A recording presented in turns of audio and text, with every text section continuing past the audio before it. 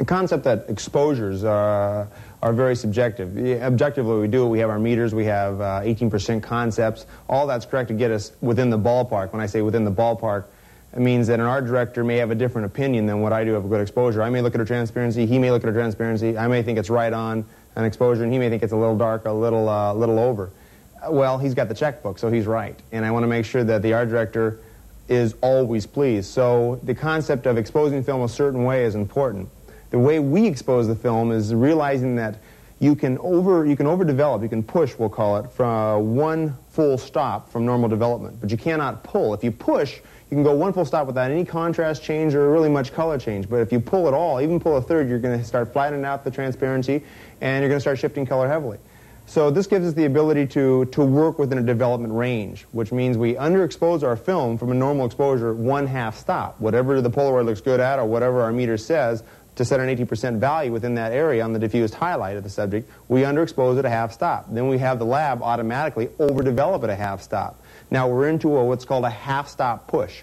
Next day the art director comes in uh, and notes that, okay, that looks like a good exposure. If he feels that's good, then we'll run them all at a half stop push. If he feels it's a little bit dark, or a little bit light, we have the ability to push and pull within that range without any fear of color shift. We can push at a half stop or pull at a half stop and still be within our normal range of development without any contrast or color shift.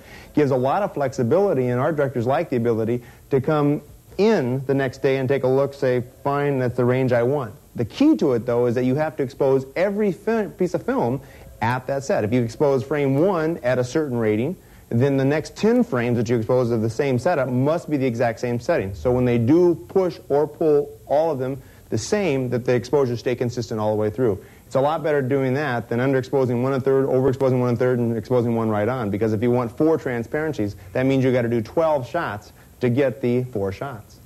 There's several ways of doing this development control, depending on if you're dealing with roll film or you're dealing with sheet film.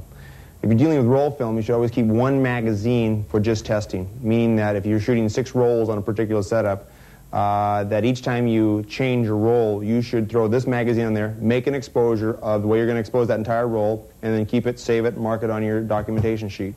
On now sheet film, it's a totally different story.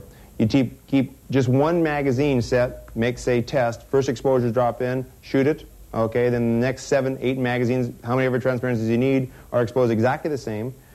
The next morning, you look at your developments. The decision is made, should it be pushed or pulled relative to what that one is, and then the rest are uh, developed out. Now, what that gives you is to have the ability to have every single exposure exactly the same. And that's the most important thing about this thing is that when the art director likes a look, that he has a choice of all the different expressions, uh, forms, uh, sets, to where every exposure is right on the money. And that's a lot better than underexposing and overexposing on the actual exposure because it's just a lot less film to deal with. The most important thing in this entire series is the documentation of the shooting.